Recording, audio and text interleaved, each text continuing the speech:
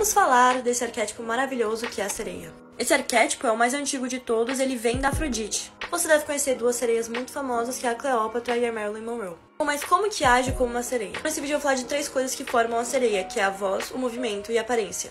A primeira coisa que eu preciso te falar é que a sereia não precisa ser a pessoa mais bonita da sala. Tanto que Marilyn Monroe e Cleópatra não eram as mais bonitas, segundo a história. Como eu disse, a sereia ela independe de você ter um rosto bonito ou não, porém ela depende de outros atrativos muito.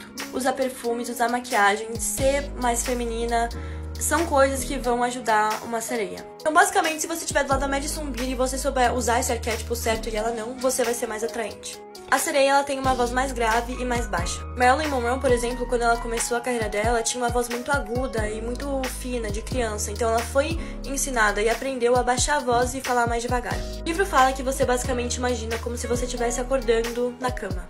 Outra coisa importante é que a sereia se move como água. Então ela tem os movimentos que simulam a forma como a água se move. Um ótimo exemplo para vocês verem de sereia é a Ares, que ela fez. É, sim, ela fez, ela, hum, ela é um personagem em Simba e os Sete Mares um negocinho que vocês pesquisem no YouTube, porque vale a pena. Eu não sei colocar vídeo aqui no TikTok porque eu sou burra. Uma das chaves de se tornar uma sereia é que ela é extremamente confiante. Ainda no movimento, as atitudes que a sereia toma, elas são sugestivas e inocentes ao mesmo tempo.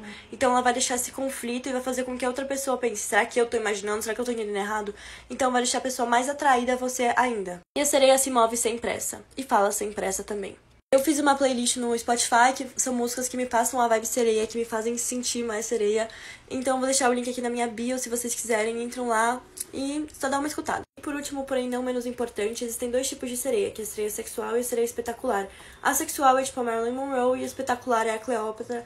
Eu gosto mais da espetacular, mas se vocês quiserem que eu entre em detalhes, eu entro, só me falem. Se vocês quiserem que eu fale mais da sereia, eu falo, porque eu adoro esse arquétipo. Mas é isso aí, galerinha. Beijão e tamo junto demais.